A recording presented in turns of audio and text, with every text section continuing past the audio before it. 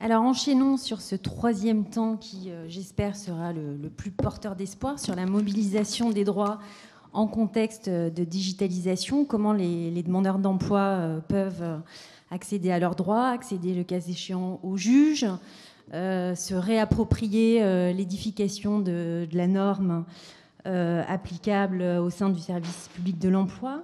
Euh, et également euh, s'organiser pour euh, adopter des modalités de, représentation et d'expression. Donc pour ces interventions, nous aurons d'abord Lola Isidro sur la forme de représentation et les modalités d'expression des demandeurs d'emploi. Et ensuite, le point de vue de Pierre Garnaudier du Comité national des privés d'emploi et précaires, CGT.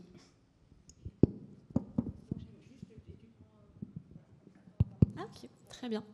Merci euh, Émilie. Alors ce sont les formes d'ailleurs de représentation. Et j'ai tu as dit la forme, c'est vrai que ça paraissait bizarre parce qu'en fait ce sont les formes de représentation et les modalités d'expression des demandeurs d'emploi.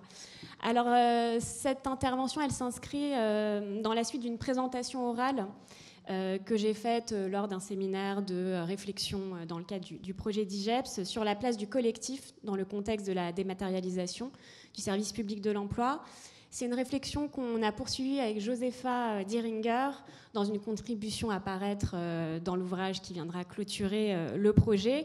Aujourd'hui, Josepha manque pour, pour de très bonnes raisons. je vais faire de mon mieux pour porter sa voix parce que là, ce que je vais vous dire, c'est le fruit, c'est le fruit de nos réflexions. Et je pense que celles et ceux qui connaissent bien Josepha reconnaîtront sa patte dans ce que je vais vous partager. Alors la question euh, de départ qu'on a posée, c'est euh, les sans-emploi sont-ils voués à euh, demeurer des sans-voix? C'est une question qu'on s'est posée donc, dans le contexte de la dématérialisation, mais qui, hors contexte de dématérialisation ou digitalisation, moi aussi je ne suis pas très rigoureuse, pour, et pourtant je fais partie directement du projet, mais je ne suis pas bien rigoureuse aussi sur l'emploi de ces termes. Mais donc c'est une question qui, hors de ce contexte, est en réalité très peu investie par les juristes. Donc, euh, nos propos intègrent euh, la problématique de la dématérialisation, mais vont au-delà pour aborder largement la question de la participation des sans-emploi au service public de l'emploi, la dématérialisation amplifiant les constats qu'on peut faire euh, quant à cette participation, quant à la représentation et à l'expression des demandeurs d'emploi. Alors par participation, je précise, euh, on entend droit par lequel euh, chaque personne peut, en sa qualité de membre d'un groupe social, exprimer et défendre ses intérêts en prenant part aux décisions susceptibles de les affecter, le plus souvent et bien souvent par le biais de représentants. Au regard de cette conception de la participation, on observe une certaine invisibilité des chômeurs. Alors cette problématique, elle est ancienne. Euh, le lien de représentation entre les syndicats et les sans-emploi, notamment, a toujours été compliqué à tisser. C'est une question qui faisait déjà débat dans les années 30 au sein du mouvement ouvrier, et seule la CGT, et Pierre euh, Garnaudier reviendra, je pense, là-dessus, seule la CGT a fait le choix d'une représentation spécifique euh, des sans-emploi à partir des années 70. Et c'est notamment en réaction et en marge donc du mouvement syndical que s'est créé un mouvement associatif à partir des années 80 euh, pour exprimer et défendre euh, les intérêts individuels et collectifs des chômeurs, avec plusieurs associations euh, encore donc actives aujourd'hui, notamment l'APIS, qui est l'Association pour l'emploi, l'information et la solidarité, le MNCP, le Mouvement national des chômeurs et des précaires, ou encore AC, Agir ensemble contre le chômage et la précarité. Alors les syndicats, bien sûr, ne sont pas absents, hein, euh, et, j'en parlerai. On les retrouve essentiellement au sein de la gouvernance, encore aujourd'hui, pour le moment, euh, de l'assurance chômage. Donc c'est plutôt à l'occasion des négociations euh, des conventions d'assurance chômage qu'ils représentent les intérêts des privés d'emploi. Les associations de chômeurs, pour leur part, remplissent davantage leur fonction de représentation à travers une mission d'assistance et de défense des droits individuels des privés d'emploi dans leur rapport avec le service public de l'emploi. Et j'ajouterai, puisque vous êtes présent, bien sûr, le rôle des avocats que j'aurai l'occasion aussi de, mentionner dans, cette mission de défense euh, des droits des, sans-emploi. Donc il y a différents espaces de représentation euh, qui donnent à voir en réalité une représentation euh, assez, voire très éclatée. et c'est donc c'est à la fois ces différents espaces de représentation qu'on s'est attaché à décrire et ce qu'ils disent des sans-emploi. Et donc la, question qui s'est dégagée, c'est qu'est-ce que les représentants, au pluriel, donc, donnent à voir des représentés? Quelle figure des, sans-emploi se dessine quand on, interroge la question de la représentation? Et on a tenté de penser cette représentation dans l'univers euh, dématérialisé euh, de, alors de Pôle emploi, de France Travail dorénavant. On a essayé d'intégrer euh, déjà les dernières évolutions, ou encore donc de ce qu'on appelle le réseau pour l'emploi. ce qui a supposé de prendre en compte aussi les évolutions institutionnelles, elles-mêmes induites par les réformes qui ont impulsé trois politiques majeures que viennent que vient un peu consacrer hein, ou renforcer euh, France Travail. Ces trois politiques, c'est d'abord le développement du workfare, avec euh, donc euh, cette responsabilisation accrue des sans-emploi face au risque chômage, des sans-emploi donc en de retourner à l'emploi sous la menace de contrôle et de sanctions, on en a beaucoup parlé. deuxième politique majeure à prendre en compte pour penser la question de la représentation, euh, la libéralisation et la mise en marché de l'activité euh, d'accompagnement et de placement, initiée avec la disparition du monopole du service public de l'emploi en 2005 euh, et appelée à se poursuivre et à se renforcer encore dans le cadre du réseau pour l'emploi. Et bien sûr, donc la troisième politique, c'est et évolution majeure, c'est la dématérialisation jusqu'à la plateformisation de ces différentes activités euh, évolution qui est évidemment euh, donc, centrale euh, ici dans notre recherche et qui a servi d'accélérateur aux deux transformations précédentes, puisque la surveillance numérique amplifie la logique du workfare et les plateformes de type Emploi Store renforcent la logique de marché. Donc des évolutions institutionnelles qui ont des incidences sur les modalités euh, suivant lesquelles euh, les sans-emploi ont vocation à être représentés et sont censés être en mesure de participer aux décisions susceptibles d'affecter leurs droits et euh, leurs intérêts. Donc, dans un premier temps, je, présenterai les principaux espaces dans lesquels les intérêts individuels et collectifs des sans-emploi sont en mesure d'être ou devraient être défendus et exprimés. Puis, euh, en faisant l'hypothèse que derrière ces euh, modes de représentation et d'expression, et donc en fait ces modes de participation, euh, se jouent des, manières d'être au monde, il s'agira de montrer comment là où les conceptions qu'on se fait de la représentation des sans-emploi donnent à voir des figures multiples des sans-emploi, qui sont toutes assez éloignées de la figure que cherche à promouvoir les discours qui accompagnent la transition numérique, à savoir celle d'un individu dont les capacités seraient décuplées grâce aux outils numériques et qui donc euh, euh, pourrait participer davantage au, service public de l'emploi. Alors quels représentants euh, quand on interroge l'identité des, représentants, des, sans-emploi, on peut aborder la représentation des intérêts collectifs d'une part, dans une présentation assez classique, hein, des intérêts collectifs d'une part et des intérêts individuels. Euh, en, soulignant que cette participation entre intérêt collectif et intérêt individuel, elle est peut-être accentuée dans le champ du non-emploi euh, du fait des choix historiques qui ont été faits en matière de prise en charge du chômage, euh, à savoir la dissociation des missions d'indemnisation d'une part et des missions de placement et d'accompagnement d'autre part. qui n'a pas en fait été remise en cause par la réforme de Pôle Emploi en 2008. Euh, on a toujours quand même des espaces assez, euh, assez séparés. Et, donc, on va pas, euh, ça va avoir des incidences en termes de représentation. On va pas retrouver les mêmes représentants au niveau, on va dire, collectif et au niveau individuel. Et il y a peu de dialogue entre les différents représentants.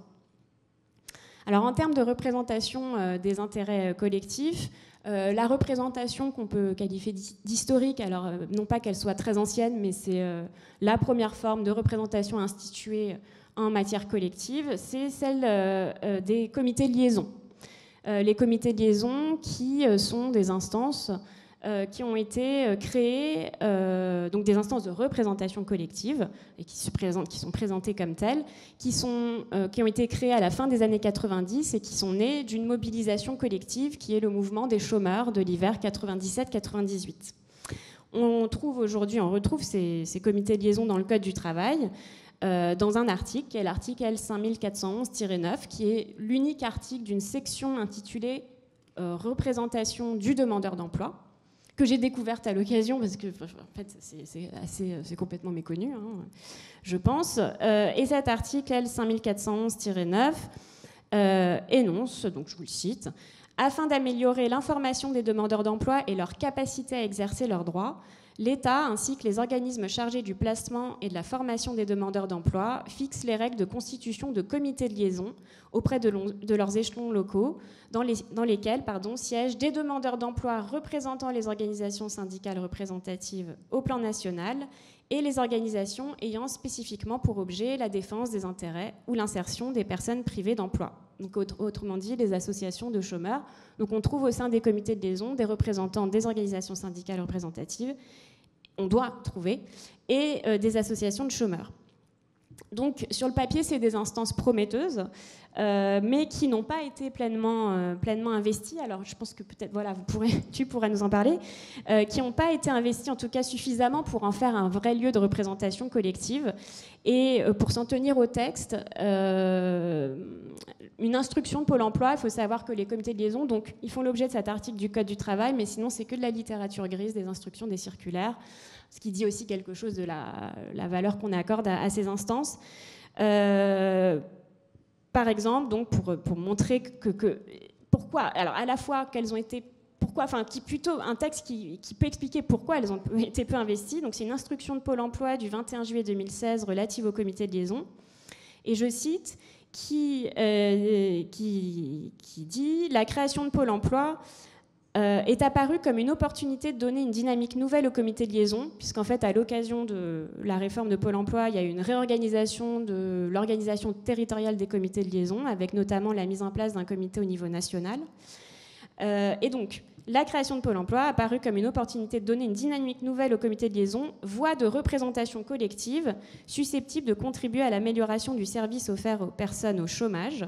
Donc Pôle emploi l'écrit, c'est une voie de représentation collective, mais dans cette instruction, euh, il indique aussi que, par exemple, euh, les panneaux d'affichage à propos des comités de liaison qui doivent être mis, c'est une obligation qui doivent être mis en place au sein des agences, de chaque agence, peuvent comporter toute information, je cite, à l'exclusion de tout appel à caractère revendicatif, accusateur, agressif ou irrespectueux. Donc sont mis sur le même plan euh, des propos, enfin, des revendications, en fait, euh, qui est un mot quand même très noble en droit du, travail, euh, et des propos qui, sont passibles de sanctions pénales éventuellement, donc accusateurs agressifs. Donc on voit que les membres des comités de liaison ne sont pas du tout libres, ou pas vraiment libres en tout cas, de la manière d'exprimer les intérêts collectifs des sans-emploi qu'ils représentent. Donc on peut comprendre que ce ne soit pas voilà, un lieu très effectif en termes de, représentation. Euh, ajouter à cela qu'il manque euh, probablement de moyens. Euh, enfin, les, membres des comités de liaison manquent de moyens au sens très concret hein, du terme de remplir cette mission. Par exemple, alors les frais des participants euh, au comité de liaison sont, euh, sont pris en charge, mais je crois, d'accord, même pas forcément, mais par exemple, euh, voilà, la perte de salaire n'est pas, compensée, donc on n'est pas du tout sur un mandat représentatif, en fait, qui serait comparable à un mandat représentatif.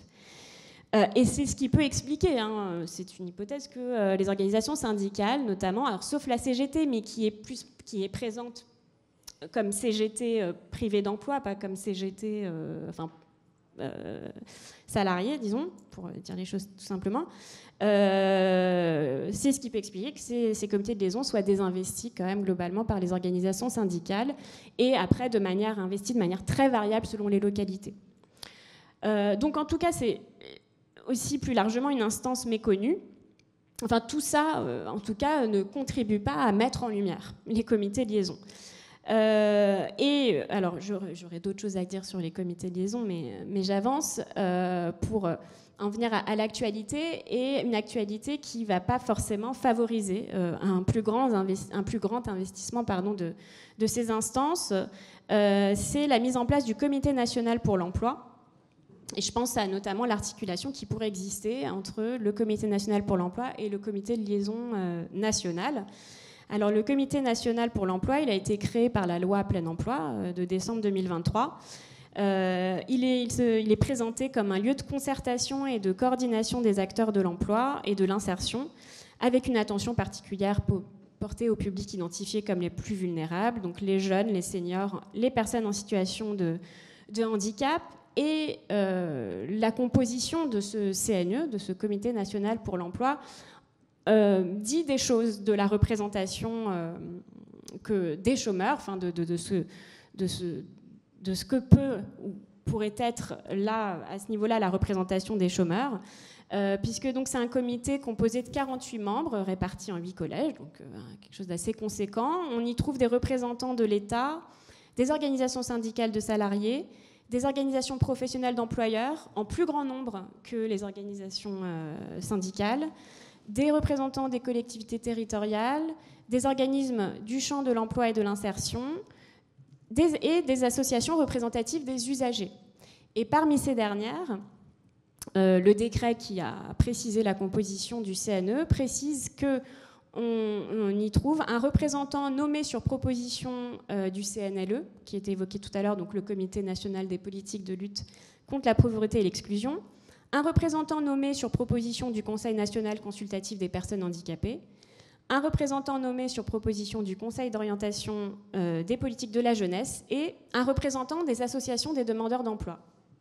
Alors, c'est texto dans le texte, un représentant des associations des demandeurs d'emploi. Donc c'est qui ce dernier représentant euh, Qui sont, enfin là, euh, on part d'une idée que les associations forment un, tout homogène, euh, qu'elles sont parfaitement euh, d'accord, euh, que leurs lignes sont convergentes.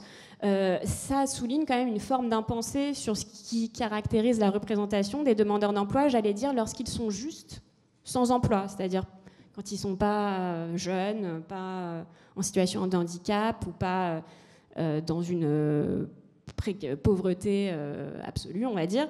Il y a, voilà, euh, comment les associations euh, en question vont se mettre d'accord, dans quel cadre? Il n'y a, pas, a, de, a pas de cadre. et du coup, on se demande aussi, par ailleurs, quelle articulation avec la représentation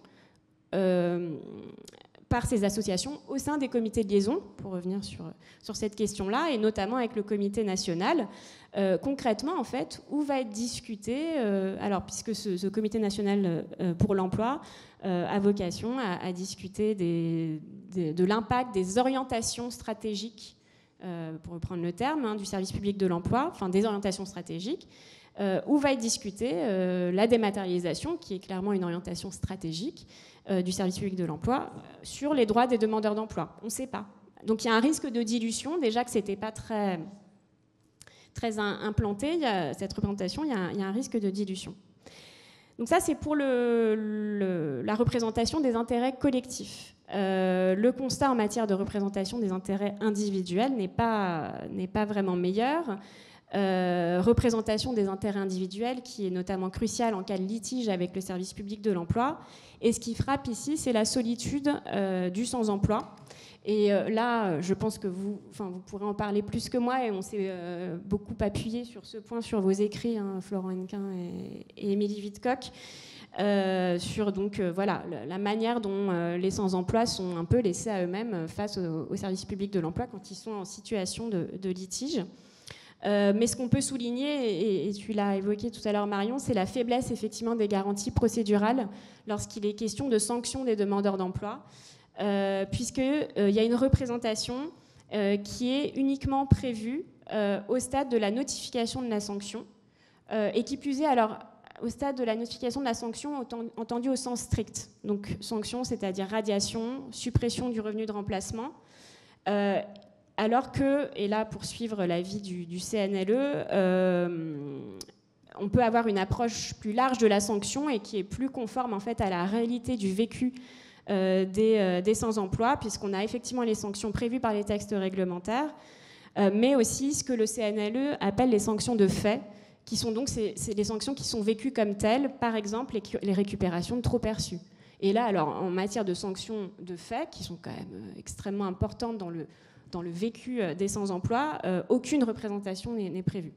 Et donc pour les sanctions au sens strict, il y a une représentation prévue au stade de la notification de la sanction, mais euh, pas dans toute la phase de contrôle qui précède. cette, cette, sanction et dont on a vu évidemment on a vu l'importance. des sanctions, j'ajoute quand même pour relier, vous me direz, je ne parle pas beaucoup de dématérialisation, mais des sanctions de fait, par exemple récupération trop perçus, qui sont quand même très souvent liées à des erreurs informatiques. Donc voilà.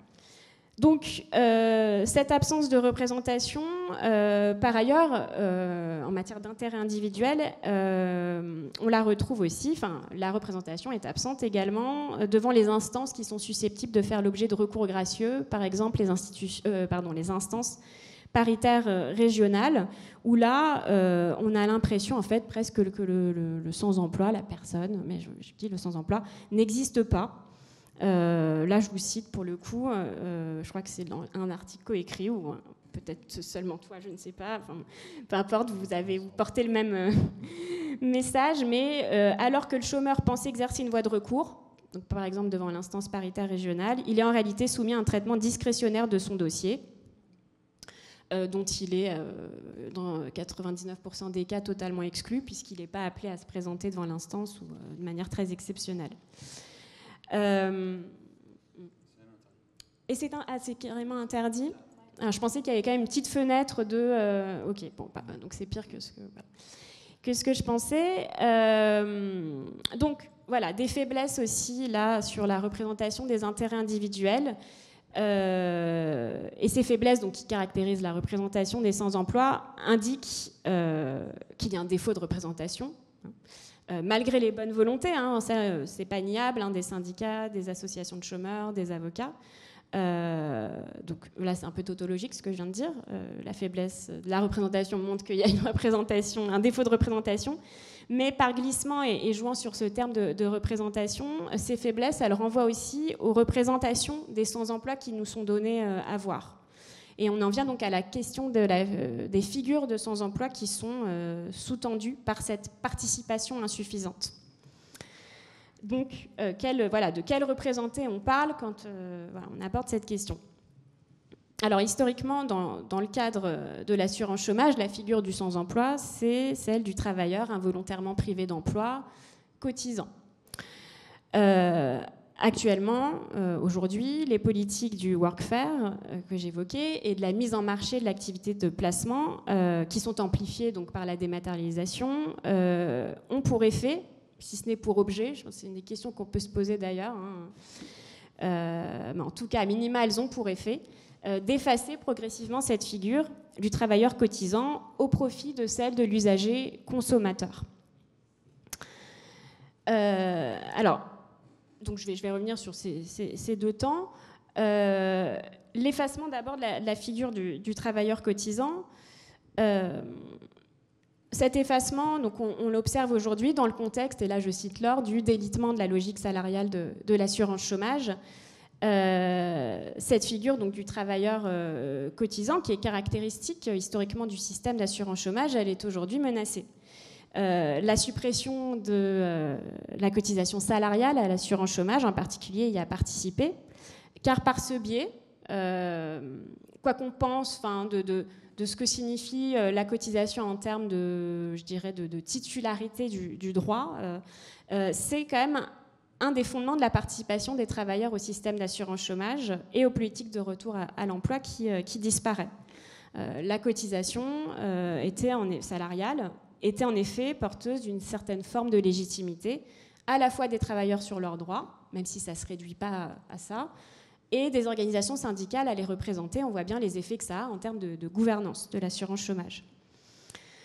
Euh, et on le voit bien, je crois, avec la nouvelle, notamment la, composition du, nouveau Conseil national pour l'emploi, je redis, il y a plus euh, de représentants des organisations patronales que syndicales, et ça, je crois que c'est assez aussi significatif de, de cette orientation.